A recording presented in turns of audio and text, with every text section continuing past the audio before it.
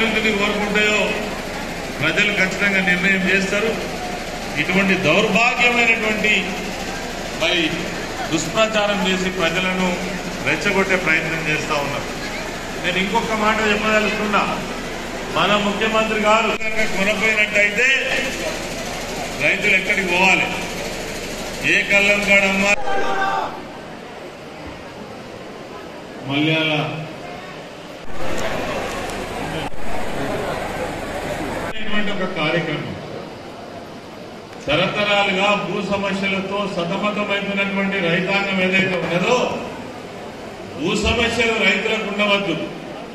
ఆర్థికంగా ఆదుకున్న రైతు మంది ఇచ్చిండు మీకు ఇరవై నాలుగు గంటల కరెంట్ ఇచ్చిండు కడుపు నిండా నీళ్ళు ఇచ్చిండు పంట పెట్టుబడి సాయం చేసిండు అయినప్పటికీ భూ సమస్య ఉంటే రైతుకు నిద్ర పట్టదు.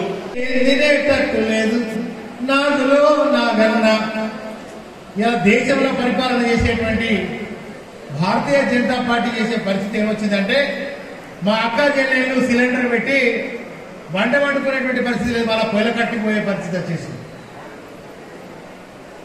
ఇలా నూనె ధర నూనె ధర ఎట్లా పెరిగిందంటే ఏడో డెబ్బై రూపాయలు అరవై రూపాయలు ఉన్నటువంటి నూనె ధర యాడికి పోయిందంటే రెండు వందల నాలుగు వందల పరిస్థితికి వచ్చేస్తారు. ఇక మా పేద ప్రజలు ఎట్లా వంట వండుకోవాలి రోజు నూనె పోసుకొని కూర వండుకోవాలి కదా? మరి గ్యాస్ బండ మీద వంట చేసుకోవాలి కదా?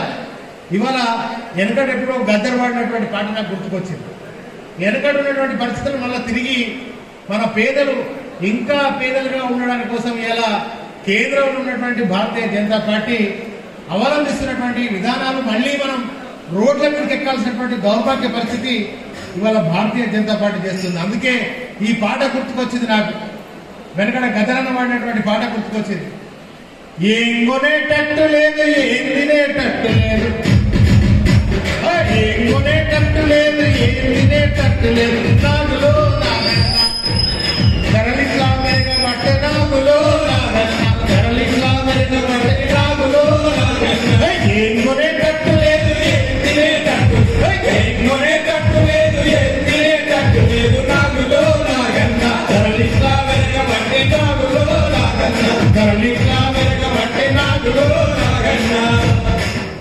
ఈ ధరలు పెంచుకొని రేపు మనం ఏం చేయాలంటే గద్దెదించాల్సినటువంటి అవసరం మనందరి మీద బాధ్యత ఉన్నది.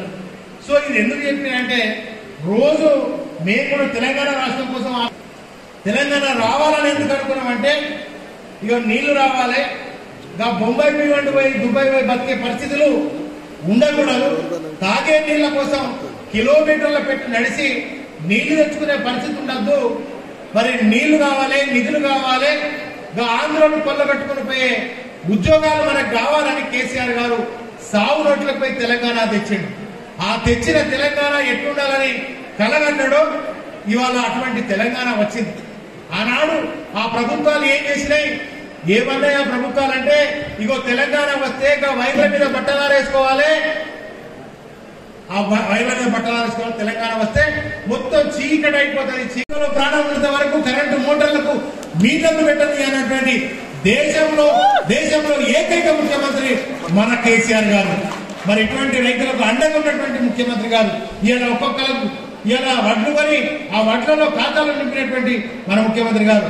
గతంలో సావుకారు దగ్గర పోయి వానాకాలం వస్తుందంటే అప్పు చేసి ఇలా విత్తనాలు ఎరువులు కొనుక్కున్నటువంటి పరిస్థితి ఎనిమిదేళ్ళ కింద ఉన్నటువంటి చరిత్ర తెలంగాణలో కానీ